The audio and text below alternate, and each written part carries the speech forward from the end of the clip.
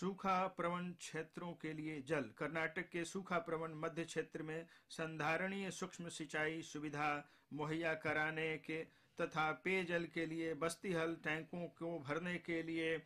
ऊपरी भद्रा परियोजना को 5,300 करोड़ रुपए की सहायता दी जाएगी